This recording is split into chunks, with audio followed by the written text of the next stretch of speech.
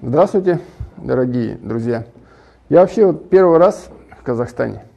Ну, ну, вот когда вот я это говорю, мало кто верит, потому что весь мир был объезжен, да, а вот до Казахстана я только вот сейчас доехал.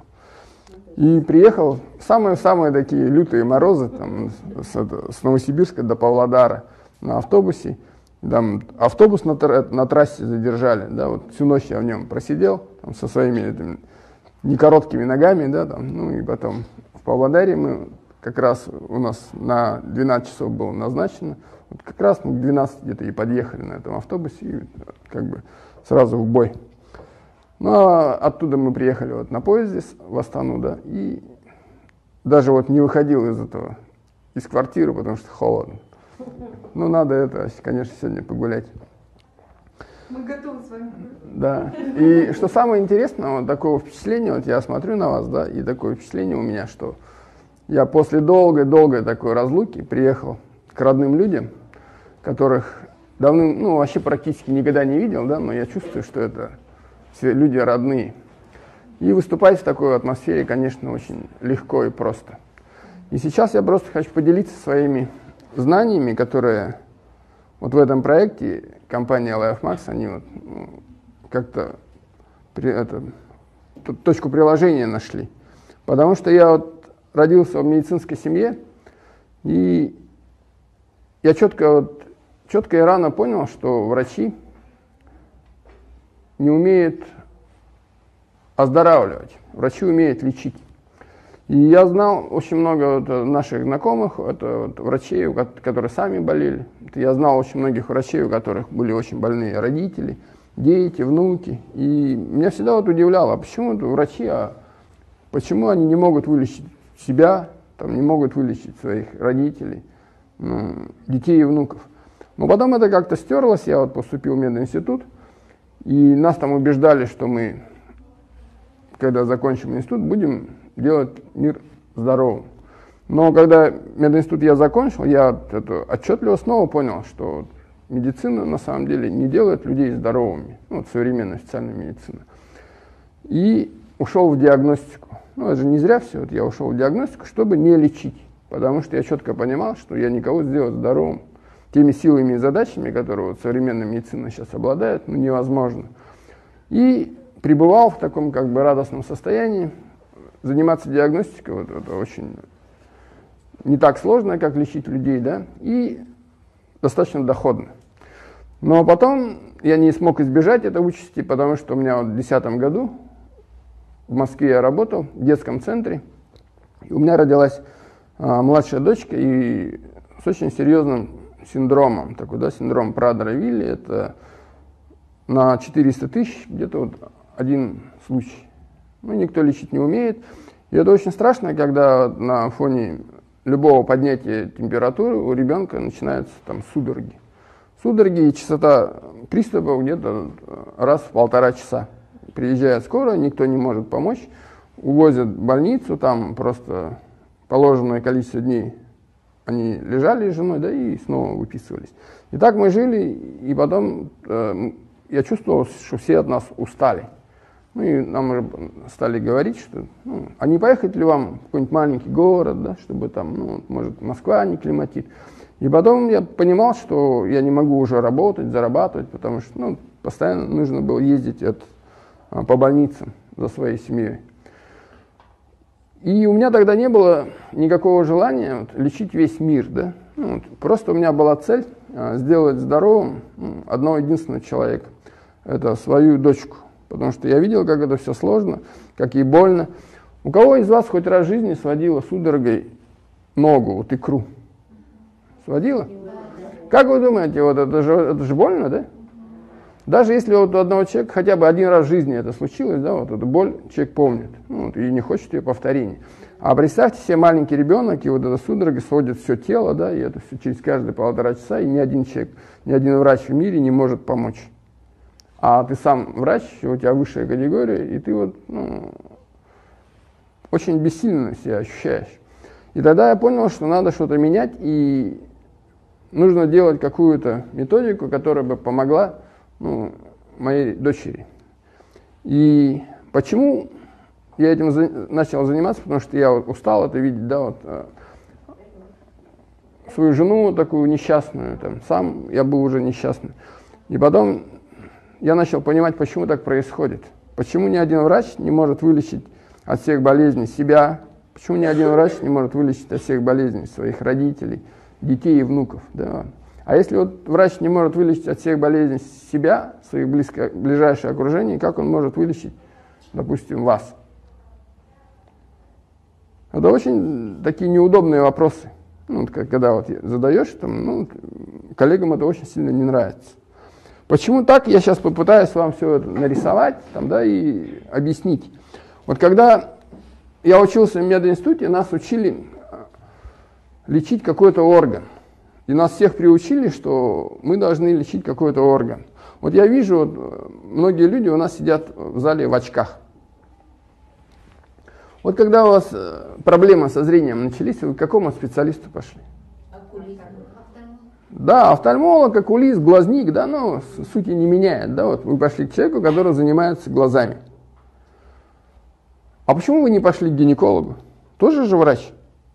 Или там к урологу, там, к андрологу, травматологу. Потому что, да, потому что нас, потому что нас всех приучили, что глазами занимается только вот, ну, вот офтальмолог.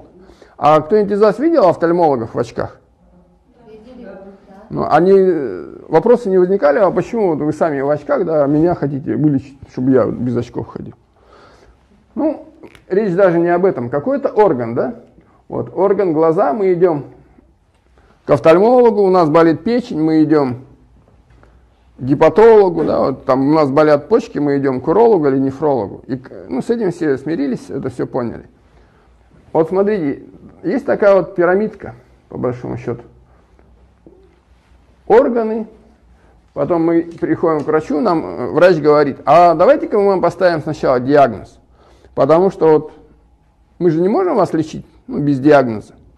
Правильно? Было такое? И врачи начинают нас отправлять туда, сюда, да, и мы ходим и сдаем кучу анализов, там, компьютерную томографию делаем, там, это, магнитный резонанс, УЗИ, да, и нам это, в конце концов нам ставят диагноз. А к диагнозу уже давным-давно привязаны какие-то лекарственные средства. Мы идем в аптеку, покупаем эти лекарственные средства, и по большому счету вот, а, контакт наш с врачом заканчивается. И врачу уже, когда он нам выписал этот рецепт, уже не интересно, станем мы здоровым или не станем здоровым.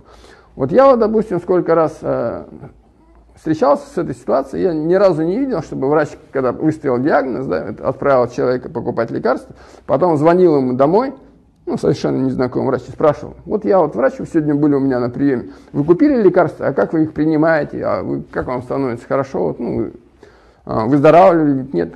Кому-нибудь из вас вот, э, врач звонил домой из поликлиники с таким вопросом? Нет, конечно. Нет, да, потому что на самом деле цели и задачи нету современному врачу, современной официальной медицине сделать нас здоровыми. Просто нам поставить диагноз, выписать лекарства и, по сути, продаем, мы продаем лекарства, врачи. Но мне-то надо было ребенка вылечить, мне нужен был результат, и вот эта ситуация мне ну, абсолютно не нравилась. Я начал думать собственной головой. Поверьте моему опыту, думать собственной головой могут только 5% населения. 95% населения э, думают общественным мнением. Ну, вот, сформирован таким, что есть в телевизоре, да, и все думают, ой, что подумают люди обо мне, да, вот, ну, мы зависим от этого общественного мнения. Но мне деваться было некуда, мне нужно было делать здоровым своего ребенка, и я начал думать собственной головой. Органы состоят из каких-то тканей, да? Наверное, это все знают. А ткани состоят из клеток. Если и я начал думать вот как бы сверху. Если у нас клетки все будут здоровыми, да, могут здоровые клетки сформировать здоровую ткань? Конечно. Могут. А если здоровая ткань, она может сформировать здоровый орган? А если у меня будут все здоровые органы, я буду здоров? Да, значит, я подумал, что надо ну, как-то уйти от этой схемы, да, и перейти к клетке. И тогда я начал читать и с удивлением понял, и начал читать я уже не меди, ну, медицинские все, да, вот, и учебники. Но самое интересное я нашел это учебники биологии, это 8-9 класс средней школы. Мы все практически с вами вышли из Советского Союза. Согласны, да? Мы учились в Советском Союзе. Кто из вас закончил советскую среднюю школу? Так. Кто из вас э, изучал биологию? Изучали, да? И что самое интересное, для того, чтобы быть здоровым, не обязательно быть врачом. Достаточно обладать знаниями средней школы и пройти курс биологии. Сейчас я вам буду это все доказывать. И мы должны знать, какие причины вызывают ну, то, что клетка становится либо больной, либо здоровой. Все эти причины мы знаем, потому что мы изучали биологию в 8-9 классе. Сейчас я буду с вами общаться, да, и вы все четко будете понимать, что вы это все знаете. Просто вы немножко это забыли. Первая причина, от которой клетка может стать больной, это вот клетке нужен кислород? Нужен. Это же вы знаете же. Вот первая причина это недостаток кислорода, который ну, допоступает в клетку. Клетке нужно питание. Это вторая причина. Недостаток питания. Это витамины, минералы, полинасыщенные жирные кислоты. Вы это все знаете прекрасно. Третья причина плавно вытекает из первых двух. Если клетка должна дышать и питаться, да, то у нее должны вырабатываться продукты жизнедеятельности. Ну, так же, как человек, который кушает и пьет, там, дышит, он должен писать, какать ходить. Ну, у него должны вырабатываться продукты жизнедеятельности, шлаки, токсины, метаболиты. И третья причина на, на уровне клетки – это недостаточное выведение шлаков, токсинов, метаболитов. Правильно? И вот эти три причины мы все знаем. Из школьной программы – это биология. Но просто мы это забыли. И есть четвертая причина, которая вот, э, врачи которые учились в Советском Союзе, да, советских школ, и российские вот врачи, вот, ну, я думаю, и у вас тоже врачи, которые не знают это. Но эту причину прекрасно знают китайцы и индусы. Потому что для того, чтобы вот сформировать вот эту свою методику, мне пришлось учиться в Китае тоже. Я четко знаю, что китайцы эту причину знают. А кто из вас допускает то, что вот кроме физического тела, да, вот, у нас есть душа? Поднимите руки. Все, да? А, что у нас есть энергия какая-то жизненная, аура, да, это все. Но в советских а, медицинских институтах нас, этому не учили, это я точно говорю. И в российских то, тоже не учили, потому что у меня старшая дочка закончила в Москве мединститут, я у нее спрашивал, как это, вот, вот есть там предмет, где вы изучаете энергию, да, карму, там, она говорит, нет. Я говорю, а есть такие вот специалисты, вот, которые это все делают? Нет. Я говорю, а как ты хочешь это, людей сделать здоровыми? Она говорит, ну, а как их сделать здоровыми? Потому что там же практически все сейчас больные. И многие заболевания считаются неизлечимыми. Но четвертая причина – это недостаток энергии. Энергия, китайцы знают, что есть энергия ци, есть э, мужская энергия ян и женская инь. Да? А индусы знают, что есть карма, там, да, вот, есть чакры. Есть же это все. Так вот, четвертая причина этого знают, это только вот индусы, китайцы. Но если мы объединим все вот эти четыре причины, то нам нужно было просто найти лекарство, которое устраняет эти четыре причины, и мы могли бы делать любого человека здоровым. Так как у меня была сумасшедшая мотивация да, найти вот это лекарство, я начал его искать. Я его нашел. Что самое интересное, вы тоже знаете это лекарство. Все вы это знаете лекарство. Какое это лекарство, как вы думаете? Да, это вода. Вода, формулу воды все знают, да? Потому что все проходили химию. H2O. О, это что такое? Кислород. Вода является основным поставщиком кислорода в наш организм. Вода в организме не вырабатывается. Вода должна поступать только к нам извне. Но нам нужно было понять, э, сколько воды мы должны пить, да? Ну, достаточное количество воды. Никто не знает, сколько достаточное количество пить воды. Кто слышал про такую организацию, как Всемирная организация здравоохранения? Все, наверное, слышали, да? Вот Всемирная организация здравоохранения, ну, сокращенно ВОЗ. И сейчас вот Всемирная организация здравоохранения утверждает, что 95-97% всех заболеваний, которые вот известны в мире, да, они считаются уже неизлечимыми. Имеют либо хроническую форму, либо ультрахроническую. Ну вот, допустим, все сердечно-сосудистые заболевания, там, сахарный диабет, да, онкология, еще что-то, ну, практически все считается уже неизлечимым. Псориаз, вот все кожные заболевания, все считаются неизлечимыми. 95, 98, 97 процентов неизлечимые. Да? Только 3-5 процентов ну, э, современная медицина может вылечить. Так Всемирная организация здравоохранения сейчас рекомендует всем врачам мира, чтобы все врачи мира рекомендовали, чтобы все пациенты мира пили как минимум 30 миллилитров на килограмм тела воды. Кто слышал про такую цифру? Все слышали, да? 30 миллилитров на килограмм тела. И когда я начал это разбираться, я понял, что-то тут не то. Если бы это была истинная, ну, правильная цифра, то не было бы вот этой цифры. Ну, какое-то несоответствие, правильно? Если бы это была цифра, которая достаточно для того, чтобы люди не болели, не было бы 95-97% заболеваний, которые сейчас есть, и они считаются уже неизлечимыми. Значит, нужно искать какую-то другую цифру. И я начал думать собственной головой, и ну, начал как бы додумываться. Давайте вот поймем. Просто представим, что у нас есть, а, мы знаем эту, достаточно, эту цифру, достаточное количество воды.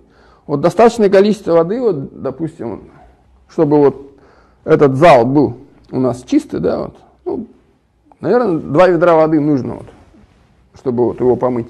Если каждый день мы будем тратить два ведра воды, то этот зал будет всегда чистым. Согласитесь? Вот, допустим, у нас есть достаточное количество воды, и мы начинаем его пить, у нас достаточное количество воды, достаточно кислорода. Если мы начинаем пить достаточное количество воды, у нас в наш организм поступает достаточное количество кислорода, мы можем устранить первую причину всех заболеваний на уровне клетки – недостаток кислорода.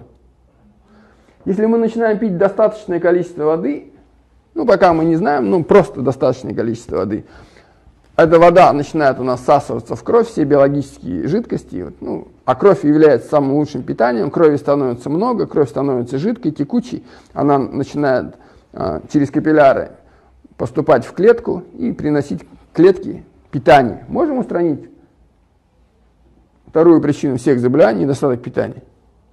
Если будет много крови, и она будет жидкой. Недостаточное выведение шлаков, токсинов, метаболитов – это, по большому счету, одним словом, грязь. Вот у нас есть грязные там, руки, да, грязное лицо, грязная посуда, грязная одежда. Водой можем мы это устранить это? И что самое интересное, только водой, больше ничем. Вы же не можете помыться чем-то другим, кроме воды. Или посуду помыть. Но, опять же, это должно быть достаточное количество воды. Чтобы нам помыться, хотя бы там нам нужна ванна воды, да, или вот, ну, э, столько вот воды, сколько там через душ. Мы же не можем помыться одним стаканом воды. И когда вода, ну, это принцип гидроэлектростанции, чтобы вот нам вырабатывалась энергия, а, делается какая-то там плотина, очень много воды скапливается, да, и потом эта вода под давлением, под напором падает в турбины. Что вырабатывается? Энергия вырабатывается. И мы можем вот включать этот свет, заряжать смартфоны, да, смотреть телевизор, там, ну все, энергия. И в нашем, нашей клетке есть митохондрии, это наши турбины энергетические. И митохондрии начинают, это, когда вода поступает, митохондрии, энергия выделяется. Мы начинаем ну, что-то делать. Таким образом, нам нужно сейчас понять, сколько же нам нужно пить воды. И когда я начал думать, то я понял, что нам нужно отталкиваться от питания. А так как кровь у нас самое лучшее питание для нашей клетки, нужно знать, сколько крови в нашем организме. Сколько крови в нашем организме вы тоже все знаете, потому что вы же проходили в школе анатомию человека. Проходили? Проходили. И знаете, сколько крови в нашем организме. Крови 5-6 литров в нашем организме. А кроме крови что-то есть еще такое жидкое? В организме? Да, есть у нас э, лимфа, 4 литра, желчь есть 2 литра, ликвор это субарахноидальная жидкость, да, порядка 4 литров. Есть у нас слюна, ну, синовиальная жидкость есть, да, вот. У нас есть много же. Слезы есть? Тоже они же должны вырабатываться. Но по большому счету нам сейчас нас интересует только кровь. 5 литров крови. И чтобы нам восполнять эту кровь ежедневно, да, я э, решил, что я буду пить 5 литров воды. Я решил начать это с себя, ну, чтобы лечить потом это ребенка своего. Кто из вас может пить 5 литров воды? А? Есть такие люди? Нету?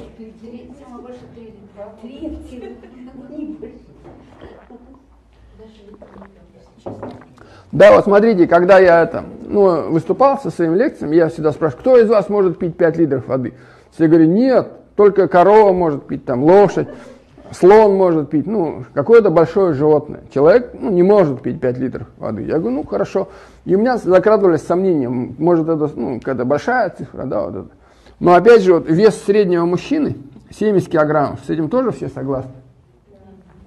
Если вот этот средний мужчина вдруг умрет, и нам понадобится выяснить, сколько же в нем жидкости, ну вот, э, мы на первом курсе делали вот такие препараты, да, и а, высушивали это, мумифицировали труп. Так вот, вес сухого остатка мумифицированного труп взрослого человека нормального, да, 20 килограммов. Это высохшие кости, кожа, там, да, вот все такое.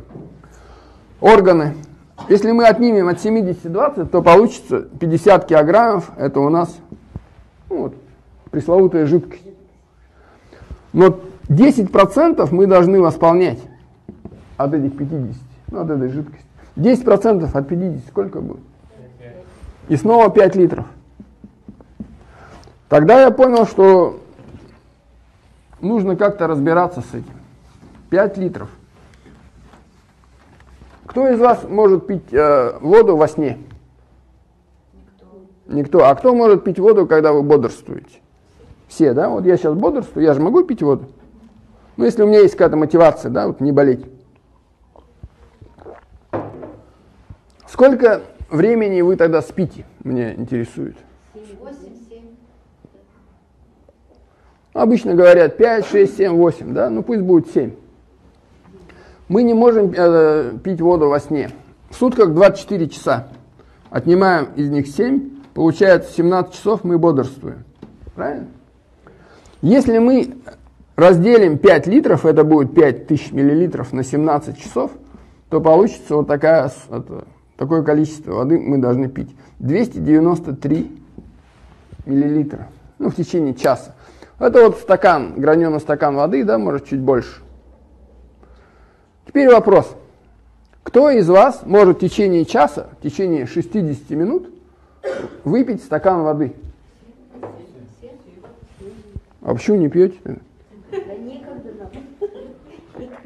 Некогда, да? Вот смотрите, я работаю врачом 26 лет, 27 уже. Из них 19 лет диагностики. Ну, занимаюсь компьютерной и магнитно-резонансной томографией. И ко мне каждый день на прием приходят люди, ну, больные люди. И мы делаем томографию, и из 25, ну, где-то 25-30 человек ну, за смену. Из этих 25-30 человек, как правило, 5 или 7 человек, у них онкология. Ну, это опухоль, да, знаете, что такое. И когда вот это у человека онкологии, он всегда спрашивает у врача, ну, что мне делать, да, как, почему вот мне, да, я же такой хороший, там, я ничего такого плохого не делал, да, почему я заболел онкологией? Почему мне осталось жить молодому такому-то там две недели, да, или месяц? Кто меня наказал? Я говорю, а вы кем работаете? Ну, вот он говорит, да я вот работаю там, вот, ну, по найму, да, неважно, кем-то там. Я говорю, значит, если вы работаете по найму, ваш каждый день, он а, похож на другой. Вы ходите, ну, на работу, ну, как это, как день сурка, по большому счету. Давайте вот разберем один день из вашей жизни, любой, пусть это будет вчерашний день. Хорошо? Он говорит, хорошо. Я говорю, давайте, вы проснулись, что делаете?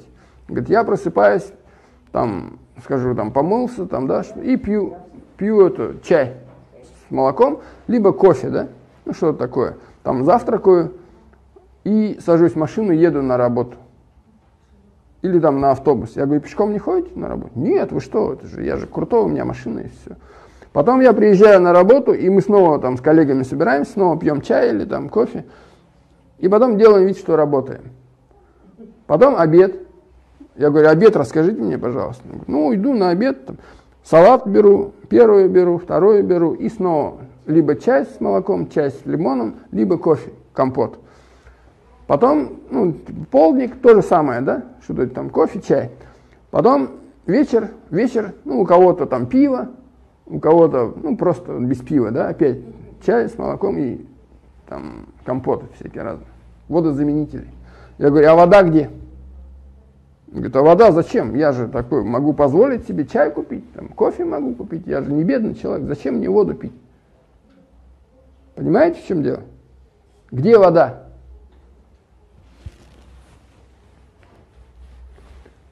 Улавливаете, да, вот этот? И таким образом мы должны это все четко понимать. Кто из вас верит, что можно лечить все болезни? Есть такие люди?